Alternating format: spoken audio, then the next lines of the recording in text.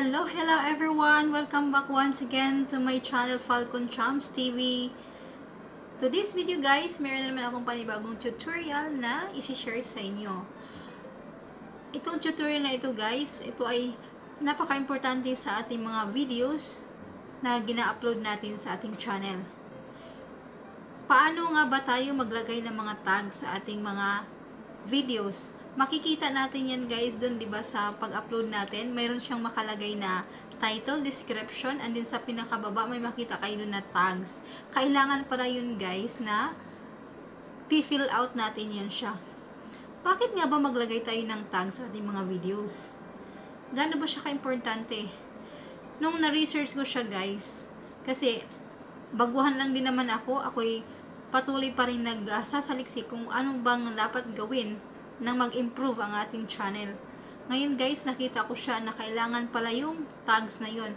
Parang sa Twitter at saka Instagram, di ba, kailangan ng mga hashtags.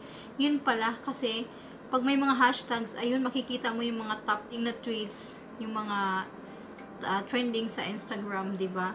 Ganyan din pala sa YouTube, guys. Kailangan pala yung tags na ipi-fill out natin 'yon. Kasi para more searchable siya ang ating mga videos na ina-upload natin sa channel natin. Kaya guys, ngayon ituturo ko na sa inyo paano natin gawin ang ating mga tags. At sana panoorin niyo ang video na to hanggang matapos. At kung baguhan lang po kayo sa aking channel guys, please don't forget to subscribe and like, share, and comments below na lang din. And please don't forget to hit the bell button below para updated kayo sa mga future videos ko na i-upload. Tara guys, punta na tayo sa ating cellphone. Ayan guys, punta na tayo sa ating cellphone at umpisa na natin kung paano tayo maglagay ng tag sa ating mga YouTube videos. Ang gagawin lang po natin, i-click lang po natin yung Chrome. Tapos maklik yung Chrome guys, hanapin niyo po yung tatlong dots na yun sa right side, sa pinakataas. I-click niyo lang din po yan. Pagka-click niyo po yan guys, mayroon pong lalabas na mga options. Hanapin niyo po yung desktop site. Dapat po naka-check po yan. I-check po natin muna yan. Ayan, naka-check na po yung ating desktop site, guys. Ngayon, ita-type natin sa web address. Www yan, meron namang automatic lumalabas na youtube.com i-click na lang po natin yan siya. Ayan, then go. Then i-okay natin. I-search natin. Ngayon, nagsi-search na ang Then, i-click lang po yung, then click OK. Ayan, nandito na tayo sa ating YouTube. Nakikita nyo po yung account nyo yan sa may taas. Ito po yung YouTube natin, channel. I-click po right side. Pagka-click po natin guys, meron naman mga options na pagpilian. Hanapin natin yung YouTube Studio. I-click po natin yung YouTube Studio guys. Ayan guys, nandito na po tayo sa ating YouTube studio.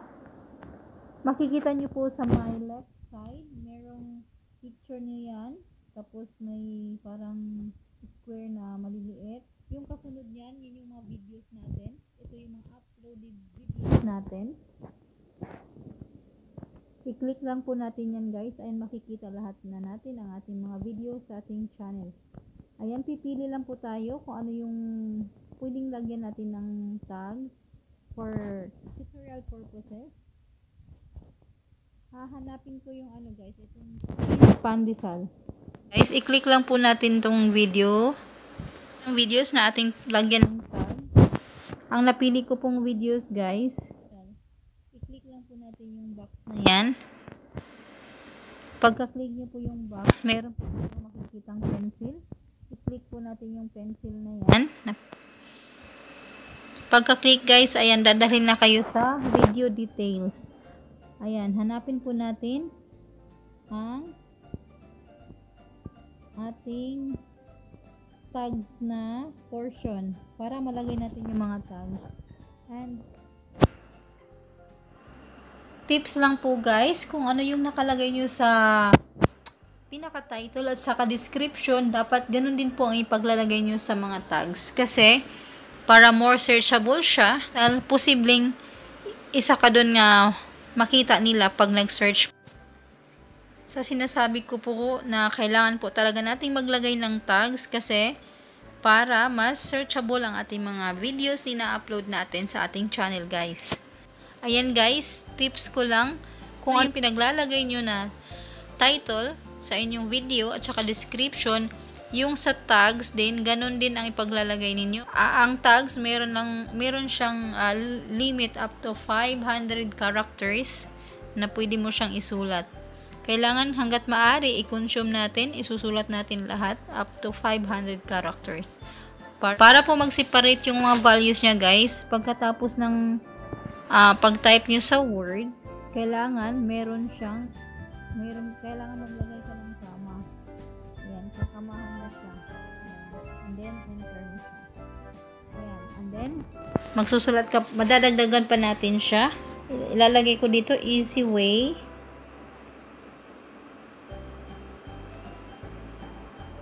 Making cheese pandesal.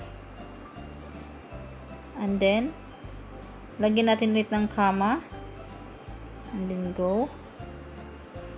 And then, pwede natin siyang ilagay. Paano gumawa ng cheese pandesal. Lalagay ko rin na rin yung cheese pandesal.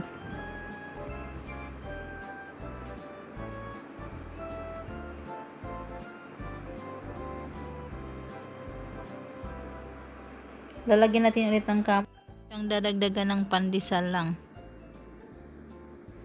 Sa paglalagay ng tags, guys, uh, kailangan mag-fill up ka as many as you can which is related sa video mo, guys. Kailangan mo siyang punuin up to 500 characters. Okay na po yun siya.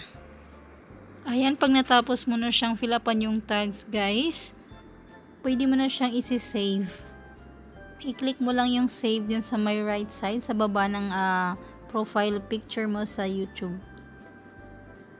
Ayan lang po guys ang aking ituturo sa inyo kung paano maglagay ng tags, videos na ina-upload. Ayan lang po ang ating video tutorial today guys. Hope marami kayong natutunan ngayon sa aking sinishare. Pwede nyo siyang gawin guys, lahat ng mga videos nyo, i-work backward nyo lang po siya para malalagyan nyo siya ng tags. Basta, ang tips ko lang sa inyo, kung ano yung nakalagay, title, description, kailangan halos ganun din ang ilalagay nyo sa tags. At dadamihan nyo pa siya para more searchable siya.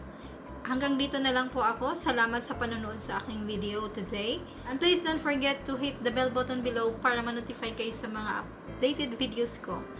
Thank you for watching!